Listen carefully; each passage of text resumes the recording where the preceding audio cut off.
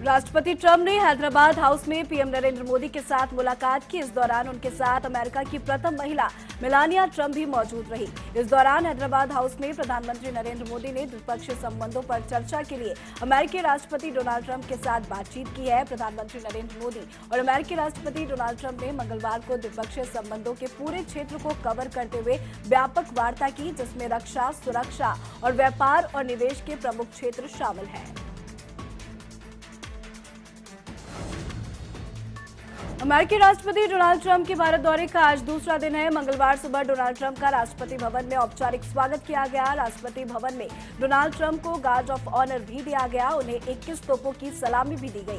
प्रधानमंत्री नरेंद्र मोदी ने राष्ट्रपति भवन में अमेरिकी राष्ट्रपति ट्रंप का भी सभी मेहमानों से परिचय करवाया। इस दौरान राष्ट्रपति रामनाथ कोविंद, विदेश मंत्री एस जयशंकर रक्षा मंत्री राजनाथ सिंह एनएसए अजीत डोभाल समेत कई बड़े नेता और मंत्री राष्ट्रपति भवन में मौजूद रहे।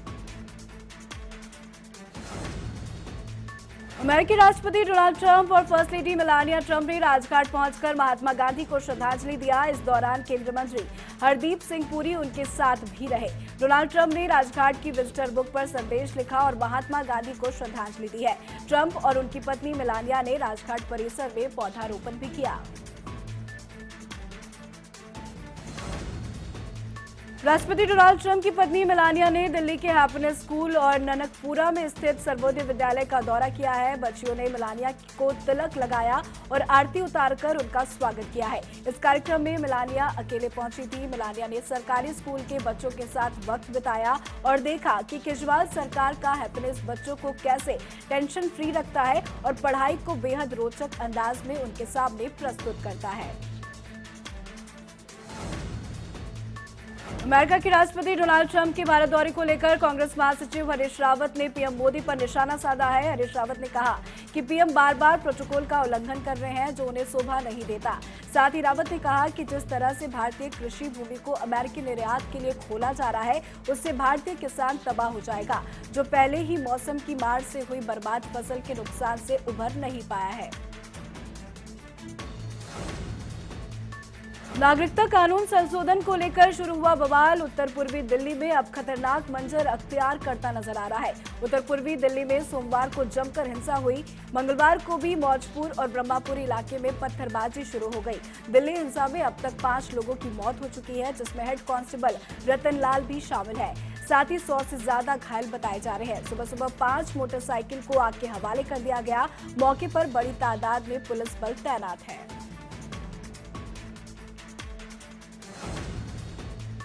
उत्तर पूर्वी दिल्ली के जाफराबाद और मौजपुर इलाके में पिछले तीन दिन में हुई हिंसा को लेकर केंद्रीय गृह मंत्री अमित शाह ने कानून व्यवस्था की स्थिति पर चर्चा के लिए उच्च स्तरीय बैठक बुलाई। इसमें दिल्ली के मुख्यमंत्री अरविंद केजरीवाल, उपराज्यपाल अनिल बैजल और पुलिस के आला अधिकारी भी मौजूद हुए। केजरीवाल ने बताया कि गृह मंत्री ने हालात सामान्य करने के लिए सभी ज़रूरी कदम उठाने का आश्वासन दिया है। सभी दलों को राजनीति से ऊपर उठकर काम करने की ज़रूरत है।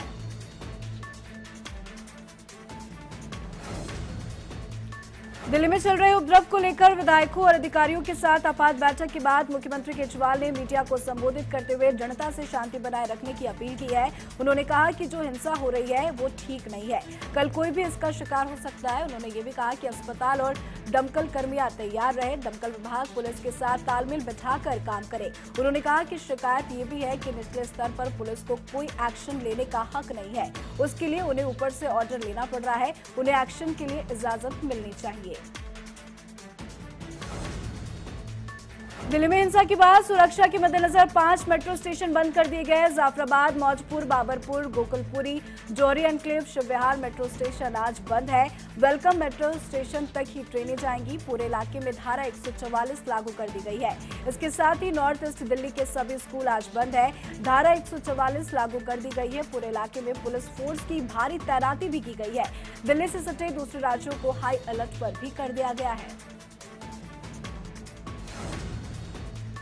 दिल्ली हिंसा मामले में भारतीय जनता पार्टी सांसद गौतम गंभीर ने कपिल मिश्रा पर कार्रवाई करने की मांग की है। गौतम गंभीर ने कहा है कि कोई फ़र्क नहीं पड़ता कि वो इंसान कौन है।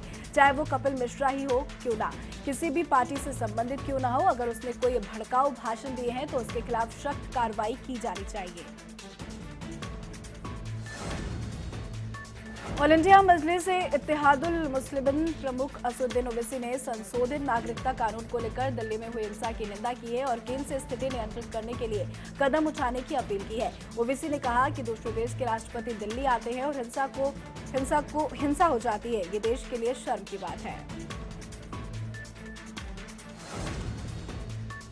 दिल्ली में हुई हिंसा को लेकर डिप्टी सीएम केशव प्रसाद मौर्य ने बयान दिया है। उन्होंने कहा कि इसके पीछे साजिश की बू आ रही है। यह हिंसा जब हुई, जब अमेरिका के राष्ट्रपति देश में है। जाँच के बाद इसका खुलासा हो जाएगा। इसके पीछे कौन है? ये सुनियोजित षडयंत्र लगता है।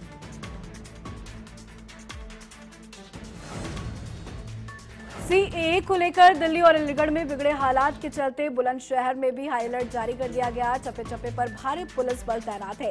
डीएम एसएसपी खुद सड़कों पर उतरकर लोगों से शांति बनाए रखने की अपील कर रहे हैं। वहीं मेरठ में भी सुरक्षा के चाक चौबंद जारी कर दिए गए हैं।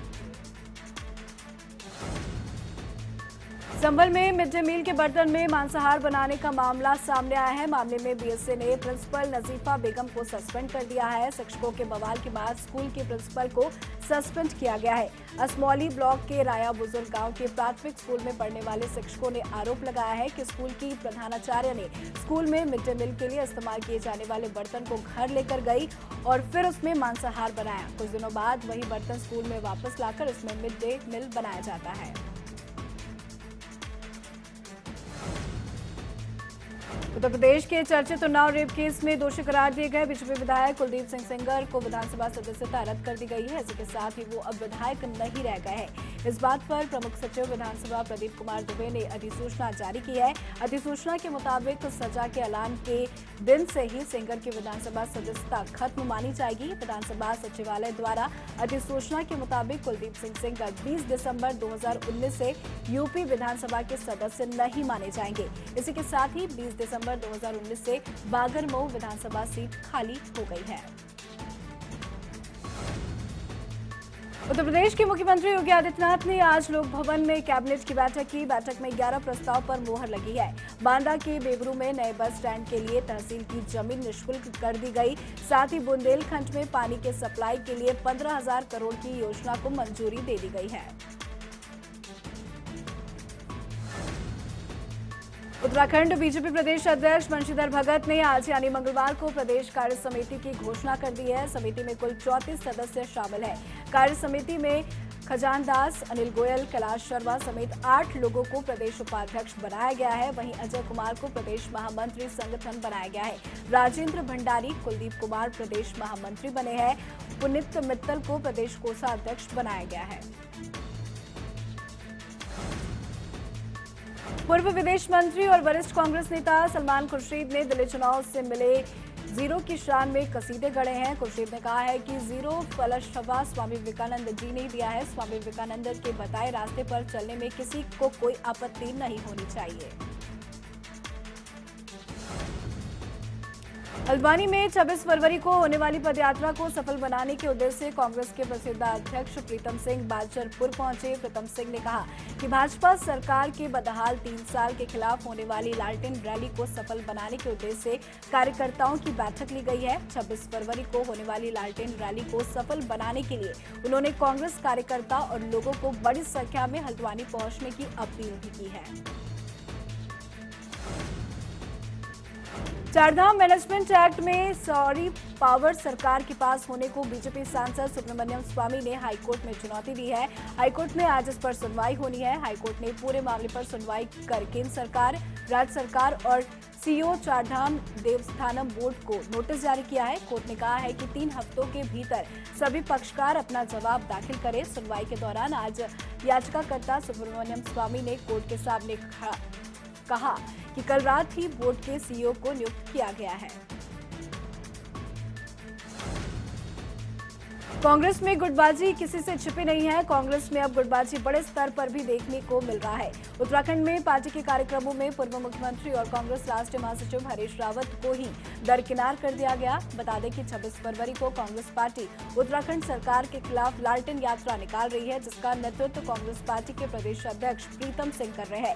हरीश रावत इस लालटेन यात्रा का कहीं भी प्रचार करते हुए नहीं दिखाई दे रहे हैं। केदारनाथ यात्रा मार्ग पर चार दशमलव सात नौ करोड़ लागत से दो पार्किंग प्रस्तावों को सरकार ने मंजूरी दे दी है। सचिवालय में मुख्य सचिव उत्पल कुमार सिंह की अध्यक्षता में उच्चाधिकार प्राप्त समिति की बैठक में विशेष अयोजनागत सहायता पुनर्निर्माण के तहत उक्त प्रस्तावों को स्वीकृति दी गई। केदारनाथ यात्रा मार्ग पर सीतापुर में यूपीआरएनएन पार्किंग के समीप खाली पड़ी भूमि पर दो दशमलव दो नौ करोड़ लागत से नई पार्किंग का निर्माण किया जाएगा। इसी तहत सोनप्रयाग में वाहनों की पार्किंग क्षमता में वृद्धि को यूपी आरएनएन पार्किंग स्थल के नज़दीक उपलब्ध भूमि में नई पार्किंग बनाई जाएगी। वित्त सचिव अमित नेगी ने उक्त प्रस्ताव का प्रस्तुतिकरण दिया है। देहरादून में अपराधियों पर नज़र रखने और खुफिया जानकारी जुटाने के लिए डीआईजी ने एसओजी के समांतर एक अलग क्रिमिनल इंटेलिजेंस यूनिट का गठन किया है। 11 सदस्यों की टीम का प्रभारी इंस्पेक्टर नदीम अख्तर को बनाया गया है। सीआईओ अपराधियों के संबंध में खुफिया जानकारी गतिविधियों का अनुमान लगाएगी और अपराधों के रोकथाम के लिए निगरानी रखी जाएगी। वहीं डीआईजी अरुण मोहन जोशी ने बताया कि इस यूनिट को सबसे पहला टाल ड्रग्स का दिया जाएगा।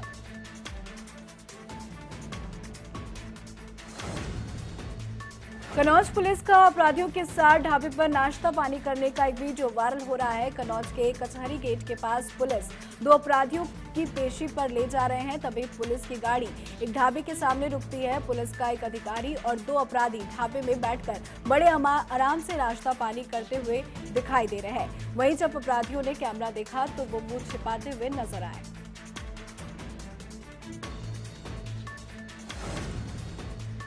होली का त्यौहार नज़दीक आते ही खाद्य सामग्री में मिलावट करने वाले मिलावटखोर सक्रिय हो गए हैं। मथुरा में मिलावटखोरी के ठिकानों पर आज खाद्य विभाग ने छापेमारी कर नकली मसाले जब्त किए हैं। इन ठिकानों पर खाद्य पदार्थों में मिलावट का खेल बड़े पैमाने पर चल रहा है। खाद्य विभाग द्वारा एक नकली मसाला बनाने की फैक्ट्री पर छापा मारा गया। फैक्ट्री के अंदर मसालों में बड़े पैमाने पर मिलावट का खेल चल रहा है। मसाले पीसने की फैक्ट्री में हल्दी, लाल मिर्च, धनिया, काला नमक कट्टू का आटा में बड़े पैमाने पर मिलावट की जा रही है। नकली मसालों की बाजारों में सप्लाई होनी थी, अब इनको सील कर दिया गया है और 15 नमूने लेकर जाँच के लिए भी भेज दिया गया है। सरकार ने नई आबकारी नीति तैयार की है। नई नीति में कहा गया था कि शराब की लाभ में रही दुकानों को, उनके वर्तमान लाइसेंस धारक को सीधे 15 फ़ीसदी बड़े अधिकार के साथ सौंप दिया जाएगा, लेकिन ये लाभ उन्हें व्यापारियों को मिलेगा, जिन्होंने अपनी बकाया 20 फरवरी तक पूरी कर ली है। दरअसल, नीति कैबिनेट ने पहले 20 फरवरी की रखी थी तारीख। हालाँकि, आबकारी आयुक्त सुशील कुमार ने सोमवार को भूल सुधार कर बकाया की तिथि बढ़ाकर सत्ताईस फरवरी कर दी है। संभल के मुख्य चिकित्सा कार्यालय में तैनात कनिष्ठ लिपिक विनय शर्मा के काले चिट्ठे सामने आए हैं। आरोपी कलर पर फर्जीवाड़े करके करोड़ों रुपए अपने खाते में ट्रांसफ़र कर हड़पने का गंभीर आरोप लगा है, जिसके सबूत भी सामने आ चुके हैं। वहीं फर्जीवाड़ा के आरोप पर सीएमओ अमृता सिंह ने खुलकर मीडिया के सामने पूरा मामला रखा। वहीं इस बाबू के फर्जीवाड़े की शिकायत लोकायुक्त तक पहुँच गई है।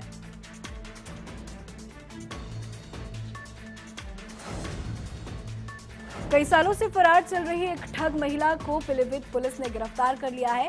पच्चीस हज़ार की इनामी ठग महिला को एसओजी टीम और सुनगढ़ी पुलिस की संयुक्त टीम ने गिरफ़्तार कर जेल भेज दिया। आरोपी महिला 2016 से फरार चल रही थी, जिस पर पच्चीस हज़ार का इनाम घोषित था। आरोपी महिला अपने साथियों के साथ मिलकर लोगों की रकम दोगुनी करने का झांसा देकर चिटफंड कंपनी बनाकर लोगों से लाखों रुपए वसूल कर जालसाजी करती थी। हरदोई की बलग्राम पुलिस ने कई बड़ी चोरियों को खुलासा करते हुए तीन शातिर चोरों को गिरफ़्तार कर लिया है। उनके पास से लाखों के सोने चांदी के जेवरात और मोबाइल भी बरामद हुए हैं। पुलिस के अनुसार चारों के कुछ साथी फरार हैं, जिनकी सरगर्मी से तलाश की जा रही है। यूपी के हमीरपुर ज़िले में एक सप्ताह पूर्व हुई कालका मंदिर में देवी के छत्र चोरी का पुलिस ने खुलासा कर दिया है। पुलिस ने सीसीटीवी को आधार मानकर एक आरोपी को गिरफ़्तार किया है, जिसके पास से पुलिस ने माता का छत्र भी बरामद कर लिया। उत्तर प्रदेश के कुशीनगर से एक चौंकाने वाला मामला सामने आया है। यूपी बोर्ड परीक्षा की कॉपियाँ गाँव में लिखी जा रही थी, जिसको मजिस्ट्रेट ने रंगे हाथों पकड़ लिया। कुशीनगर के पटरहेवा थाना क्षेत्र के पूर्वांचल किसान इंटर कॉलेज में चल रही परीक्षा की निगरानी के लिए सेक्टर मजिस्ट्रेट जिला गन्ना अधिकारी पहुँचे तो उन्हें इस केंद्र पर नकल और यहाँ की कॉपियाँ गाँव में लिखी जाने की जानकारी मिली, जिसके बाद उन्होंने छापा मारकर गाँव में लिखी जा रही कॉपी को पकड़ लिया है। ललितपुर के ब्लॉक बिरधा में स्थित इंटर की परीक्षा दे रही छात्र ने उसी कॉलेज में पढ़ाने वाले शिक्षक पर नकल करवाने का आरोप लगाया है। शिक्षक पर आरोप है कि 18 फरवरी को दूसरी पाली में होने वाली पेपर में से 4 से 5 बजे के बीच शिक्षक ने कुछ छात्रों को नकल करवाई थी। इस दौरान जब छात्र ने शिक्षक को टोका तो उल्टे शिक्षक ने छात्र को फटकाते हुए धमकी दे डाली। वही इस मामले पर एडीएम अनिल कुमार मिश्र ने कहा कि जिला विद्यालय निरीक्षक द्वारा इस मामले की जाँच करवाई जा रही है और क्या तथ्य है वो सामने आने पर ही कार्रवाई की जाएगी। हापुड़ में एक युवक की पिटाई का वीडियो सोशल मीडिया पर वायरल हो रहा है। वीडियो में कुछ युवक आलू के खेत में एक युवक को लाठी डंडों से बेरहमी से पीट रहे हैं। ये लोग युवक को तब तक मारते रहे जब तक कि युवक बेहोश नहीं हो गया। वीडियो के वायरल होने के बाद पुलिस ने मामले की जाँच शुरू करते हुए नौ लोगों के खिलाफ केस दर्ज कर लिया है।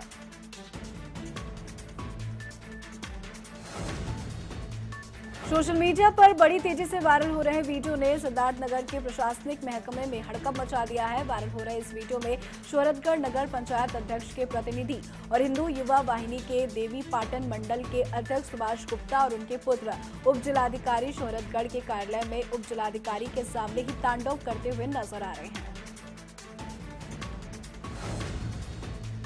कानपुर के घाटमपुर कोतवाली क्षेत्र में विधायक के करीबी सत्सम नाम के कार्यकर्ता का आरके रिसोर्ट जहांगीराबाद में शादी समारोह के दौरान रिवॉल्वर लहराते हुए वीडियो वायरल हो गया। वीडियो में देखा जा सकता है कि कैसे युवक रिवॉल्वर लहरा रहा है।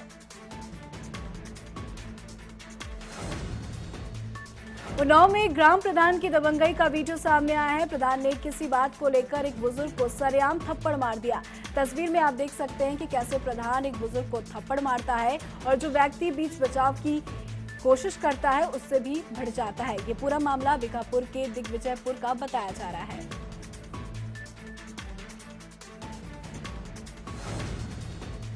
महाराजगंज में ट्रेन के इंतज़ार में स्टेशन पर खड़ी एक 17 वर्षीय युवती को चाय में नशीला प्रसाद पिलाकर अवैध वेंडरों द्वारा गैंगरेप करने का सनसनीखेज मामला सामने आया है। कोठीभार थाना क्षेत्र के ससवा रेलवे स्टेशन की घटना ये बताई जा रही है। दरअसल अपने ननिहाल जाने के लिए सिसवा रेलवे स्टेशन पर नाबालिग लड़की ट्रेन का इंतज़ार कर रही थी। इसी बीच तीन अवैध वेंडरों द्वारा नाबालिग को चाय में नशीला पदार्थ पिलाकर सुनसान एक मकान में ले जाकर रेप किया गया।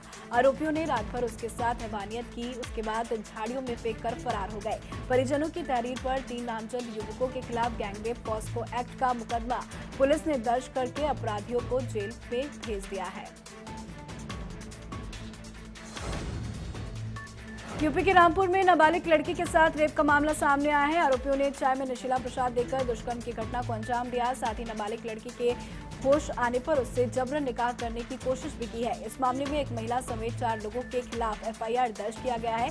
परिजनों की तहरीर के मुताबिक बेटी घर में अकेली थी। इसी बीच उसका पड़ोसी ताहिर, उसकी पत्नी संग उसके घर आया और बच्चों को मेहंदी लगाने के बहाने से बहला फुसलाकर अपने साथ ले गया और नशीला पदार्थ खिलाकर उसके साथ दुष्कर्म किया।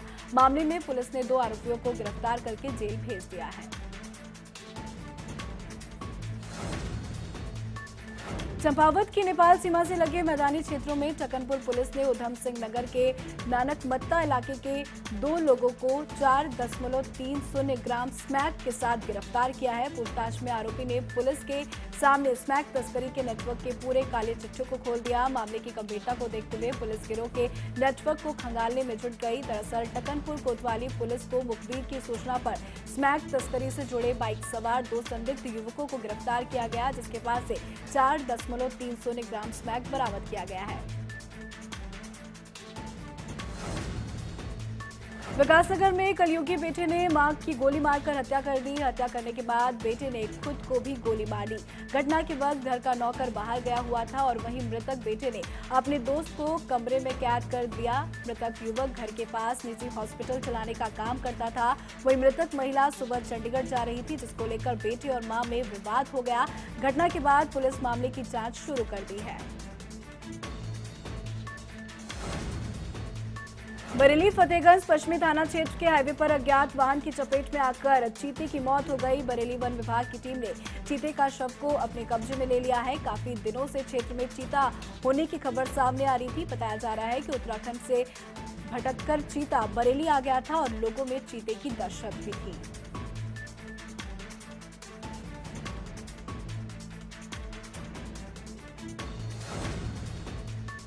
मेरठ के खरखौदा में मंगलवार सुबह एक पति ने अपनी पत्नी और आठ माह के बेटे की निर्मम हत्या कर दी। सूचना पर पुलिस मौके पर पहुँची और घटना की जानकारी ली।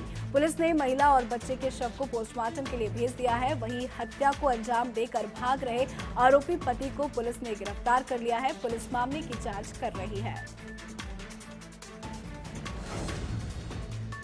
मेरठ के थाना कोतवाली इलाके में दबंगों की दबंगई देखी गई। दरअसल दबंग युवकों ने छात्र की पिटाई कर दी। दबंगों की पिटाई से युवक गंभीर रूप से घायल हो गया। पुलिस ने छात्र को इलाज के लिए अस्पताल में भर्ती कराया है। बीजेपी कार्यकर्ताओं ने दबंगों की गिरफ्तारी की मांग की है। अंबेडकर नगर में 21 वर्षीय युवक की धारदार हथियार से हत्या करने का मामला सामने आया है। हत्या से जहाँ इलाके में सनसनी फैल गई तो वहीं परिवार में कोहराम मचा हुआ है। मौके पर पहुँची पुलिस ने ग्रामीणों की मदद से शव को शिनाख्त कर हत्यारों की तलाश में जुट गई है। अपर पुलिस अधीक्षक ने भारी पुलिस फोर्स के साथ घटनास्थल का बारीकी से निरीक्षण किया और जल्द ही हत्यारों की गिरफ्तारी की बात कही है।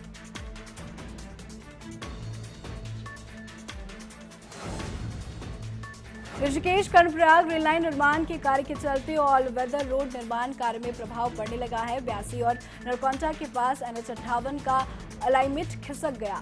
अलाइनमेंट में आई तकनीकी खामी को दूर करने के लिए लोक निर्माण विभाग इन दोनों जगहों पर पुलों का निर्माण कर रहा है।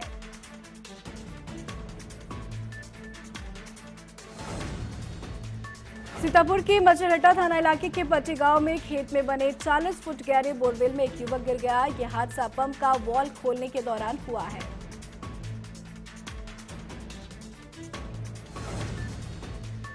चित्रकूट के राष्ट्रीय रामायण मेला के चौथे दिन पद्मश्री गायक अनूप जलोटा पहुँचे। अनूप जलोटा ने राम भजन गाकर लोगों को मंत्रमुग्ध कर दिया।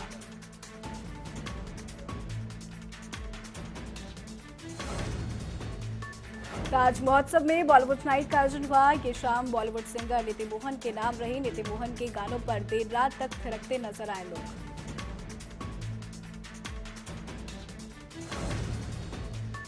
भारत ने आईसीसी महिला टी ट्वेंटी विश्व कप ग्रुप ए मैच में बांग्लादेश को 18 रनों से हराकर लगातार दूसरी जीत दर्ज कर ली है।